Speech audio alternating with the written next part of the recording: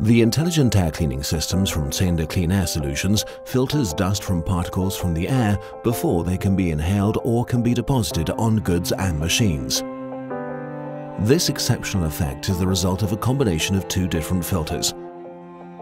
The core is the Flimmer filter in which thousands of polypropylene fibers attract fine and coarse dust particles from the air as it flows through, binding them by means of mechanical and electrostatic charge.